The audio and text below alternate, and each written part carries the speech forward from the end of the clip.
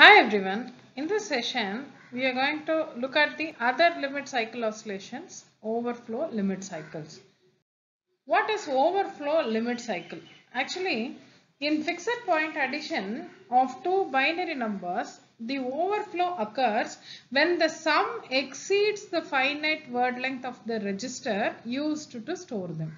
The overflow in addition may lead to oscillations in the output which we are referring it as overflow limit cycles. The overflow occurs when the sum exceeds the dynamic range of number system. That is, when a binary fraction format is used for computing the range, Uh, the dynamic range is minus 1 comma 1 the overflow can be explained by considering a 4 bit binary fraction number in 2's complement representation. So the possible numbers for 4 bit representation can be taken as an example. So what is the dynamic range? It is minus 1 comma 1 let us add two numbers plus 3 by 8 and plus 5 by 8 in 2's complement right? So this is the equivalent of binary value. While adding these two values what do we get? 1.0 which is actually uh, uh, which is supposed to be plus 1 but due to the overflow it has become minus 1 right? This is actually the sign bit right? So what happens? It, it becomes minus 1 actual sum we have to get is plus 1 so the input output transfer characteristics of a 2's complement adder uh, is actually shown in the figure. Look at this figure. It has been plotted between x and f of x. So what has what ha happens here is the overflow oscillations can be eliminated if saturation arithmetic is performed. So what is saturation arithmetic? The characteristics of the saturation adder is actually as shown in the figure. It swings from minus 1 to 1. Uh, uh, in saturation arithmetic, actually when an overflow is sensed, the output sum is set equal to maximum allowable value and when an underflow is sensed, the sum is set equal to minimum allowable value. So this is actually the magic, right? So the saturation arithmetic introduces non-linearity in the adder and the signal distortion due to this non-linearity is very small if the saturation occurs infrequently. So this is actually the 4 bit 2's complement uh, numbers. Now uh, what is what is the process or what is the procedure that we are going to follow to prevent this overflow. So first one is scaling to prevent overflow. The, there are two methods to prevent overflow. The one is saturation arithmetic and the other one is scaling the input signal to the adder. In saturation arithmetic actually what we do is undesirable signal distortion is introduced. In order to limit the signal distortion due to frequent overflows, the input signal to be added can be scaled such that the overflow becomes a rare event. So let us just look at what is saturation arithmetic, right? So let x of n is equal to the input to the system and hk of n is the impulse response between the input and output of node k and yk of n is the response of the system at node k. Now what is y, yk of n? yk of n is equal to hk of n into um, convolution of x of n which is equal to the summation of m equal to minus infinity to plus infinity hk of m uh, into x, x of n minus m.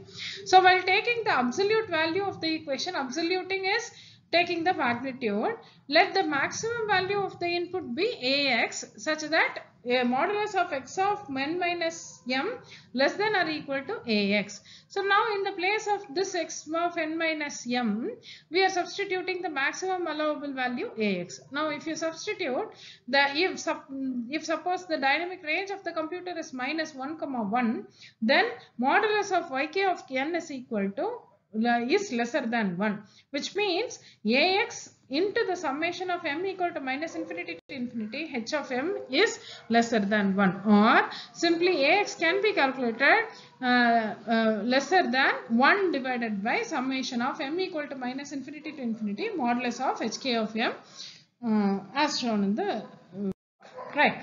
So now uh, summation of n equal to minus infinity to infinity yk of n square uh, yk of n square. Uh, uh, this is another approach actually this approach is to scale the input so that so now what we are doing is we are scaling where s is the scaling factor now introducing this equation is for scaling so s is the scaling factor. Now using Parseval's and the Parseval's theorem and residue theorem the expression for the scaling factor can be considered as is s squared is equal to 1 divided by from this equation.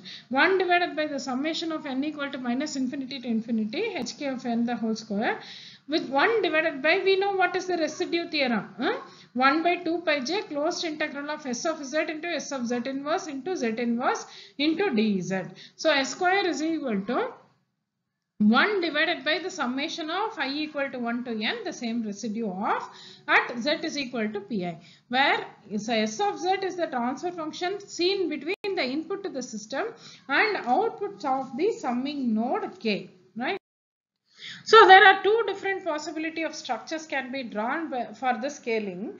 Uh, one is second order direct form to structure of an IIR system. So second order system can be drawn like this. Hope we all know already we have seen in IIR filters how to draw a structure for direct form 2, right? So this is for a second order filter. Here we are considering instead of y of z we are considering s of z. s of z is actually the scale. Hmm? s of z, see this is the s value. s of z is equal to w of z divided by x of z which is equal to this side alone is calculated. Cascade, another way to represent a second order system is cascade structure of IIR system with two second order direct form 2 structure in cascade. Right. So, uh, uh, two structures can be cascaded like this and the scaling factors can be obtained as SA of Z is equal to W1 of Z divided by X of Z and uh, yes, B of Z. That is the next one.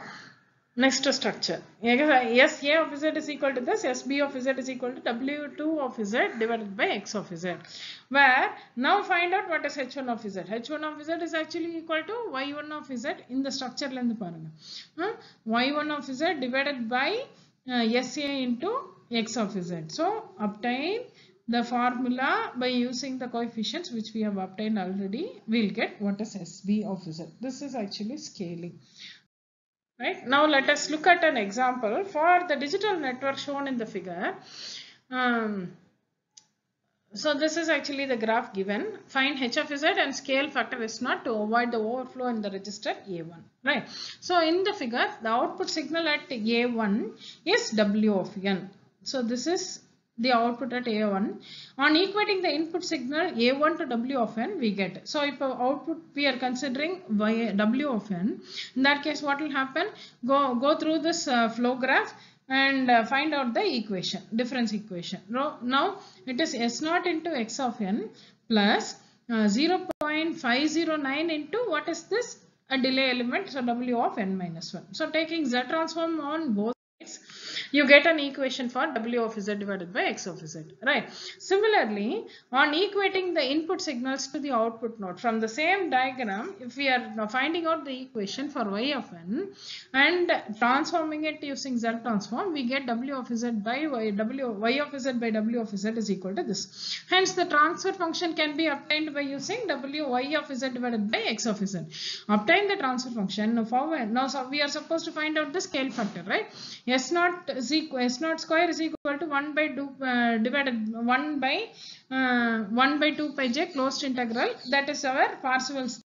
Now applying uh, that function s of z is equal to w of z by x of z. Now using residue theorem apply there is since only only only one pole inside the unit circle that pole is p is equal to 0.509 substitute for the residue theorem and find out what is the value of s naught so now s naught is equal to 0.8608 thank you so much